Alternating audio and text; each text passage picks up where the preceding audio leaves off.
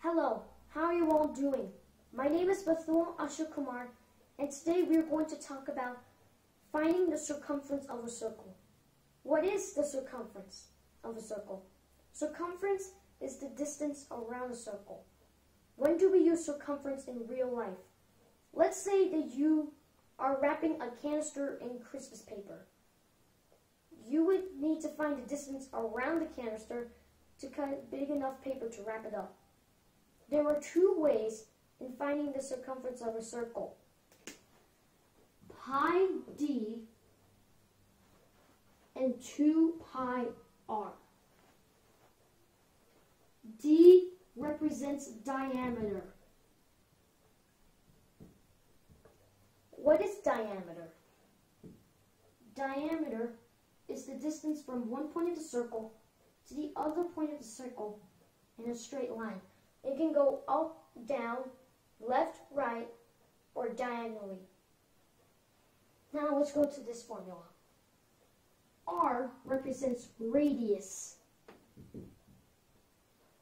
What is radius? Radius is the distance from one point of the circle to the center of the circle. It could be up, down, left, right, or even diagonal.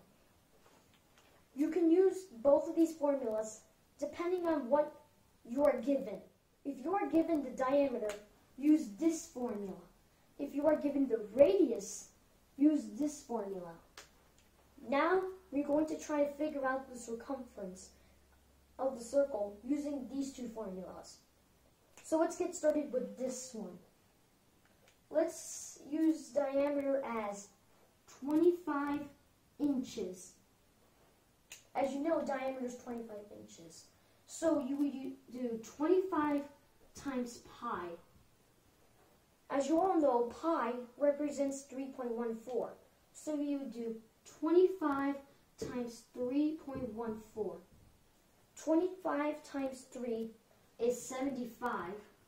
And 25 times 0.14 is 3 and a half. So you would add 75 and 3 and a half to get 78.5. So the circumference of this circle is 78.5 inches. Don't forget to include your units. Now, let's get to this formula, 2 pi r. Let's get the radius 12 and a half inches. So as you know, radius is 12 and a half. So you do 2 times pi times 12 and a half. 12 and a half times 2 is 25 times pi. And since this expression here is the same as this one over here, the answer to this one, circle here, would be 78 and a half.